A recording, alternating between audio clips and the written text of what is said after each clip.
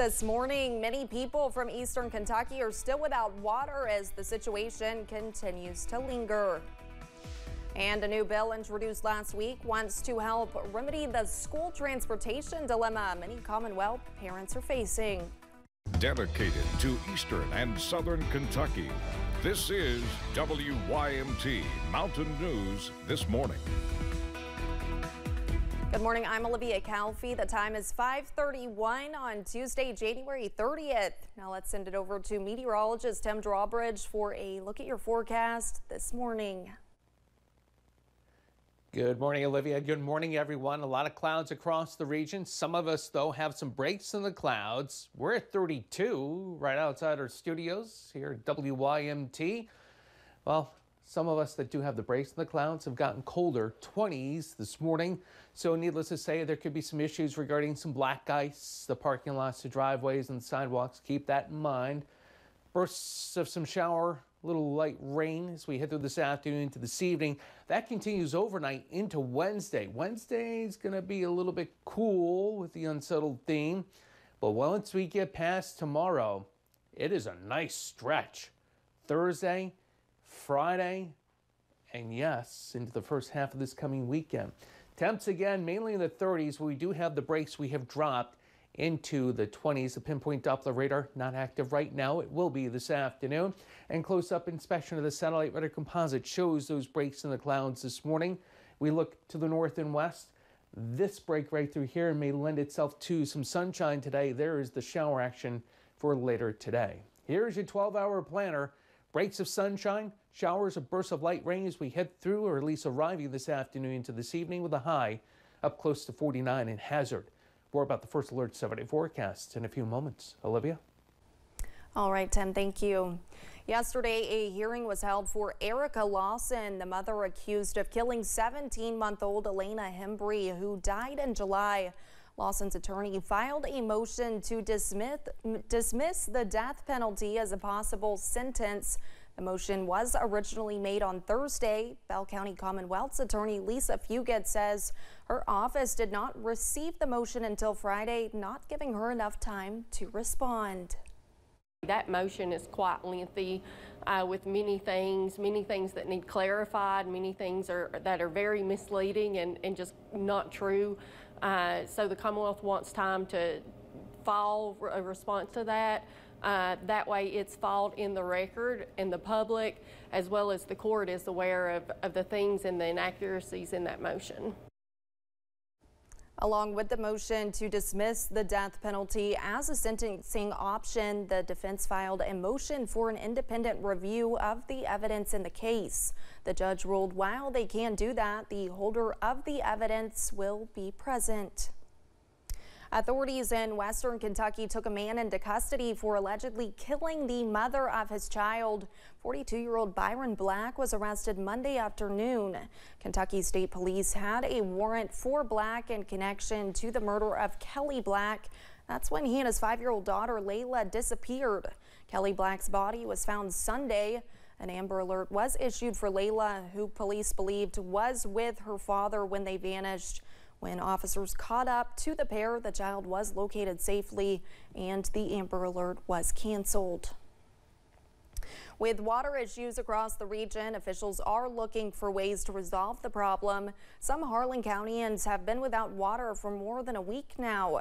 WYMT's RJ Johnson tells us what the judge executive is doing to try to rectify the issue. Ongoing water outages in Harlan County are continuing to be a burden on people, especially those using the city of Evarts' water system.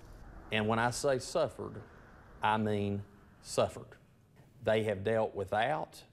I've talked to people who not only are elderly, people who are sick. It is heartbreaking. And it has agonized me for what you are going through. Harlan County Judge Executive Dan Mosley says they are looking at several ways to help this situation. He says they have requested an osmosis purification system that is operated by the Kentucky National Guard. That has not been approved at this point at the state level. However, we feel like that if we can implement this osmosis purification system, perhaps at the High Splint Lake, that it will provide the ability to inject water back into the, the lines. Connecting water to those living up the river.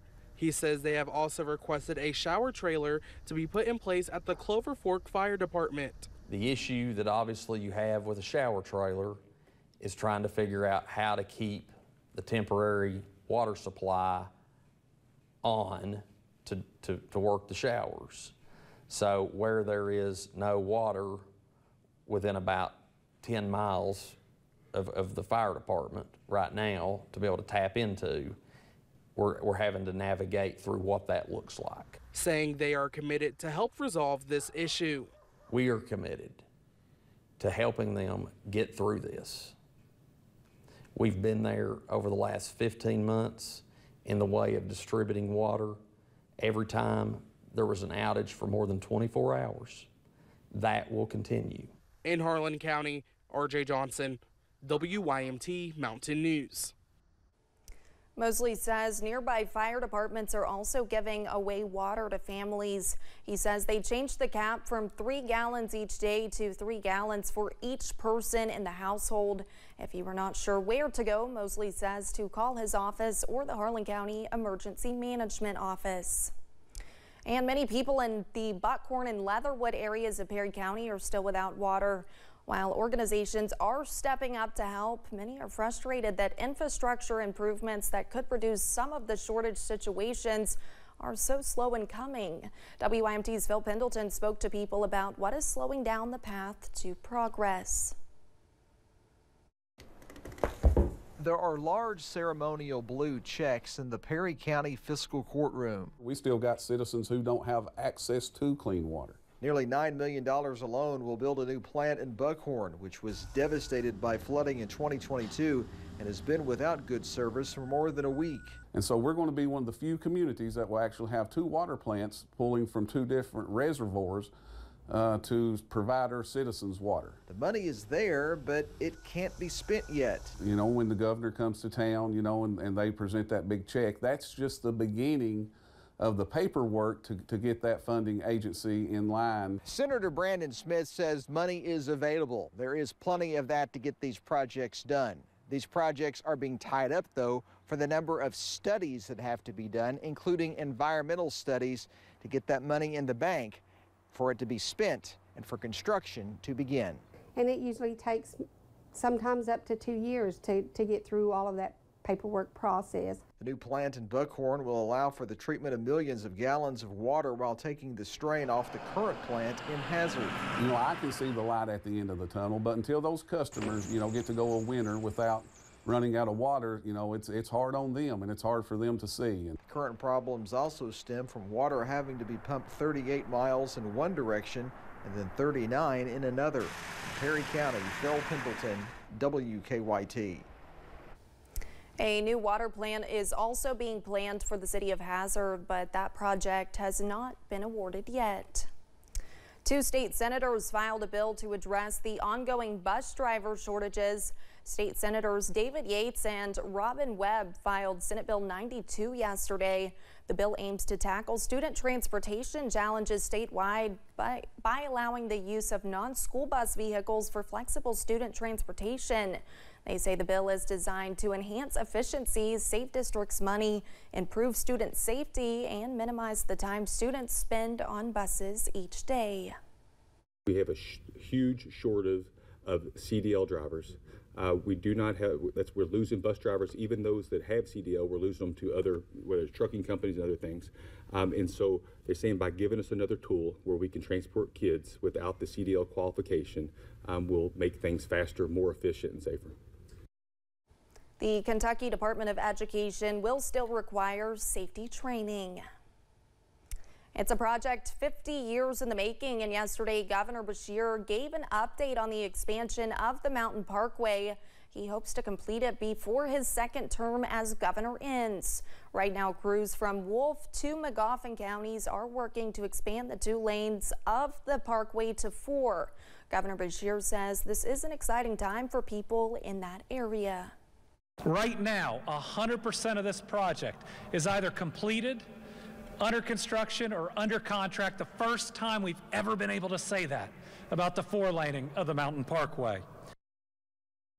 Governor Beshear says Bizzack Construction and Eastern Kentucky Com Company will finish the four lane project, and that is important to the people of Eastern Kentucky and the Commonwealth.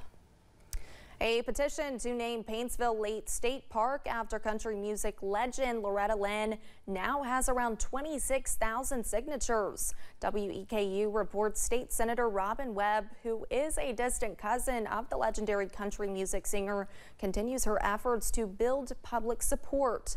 Lynn grew up in Butcher Holler, which is about 15 miles from the park. The region is also home to many other country music artists like Tyler Childers and Chris Stapleton. And Webb thinks the area should take advantage of that. When we return, the Grammys is getting a rare performance from one of the 60s most famous folk artists. You know, I always love checking out the web cameras no matter the time of the day.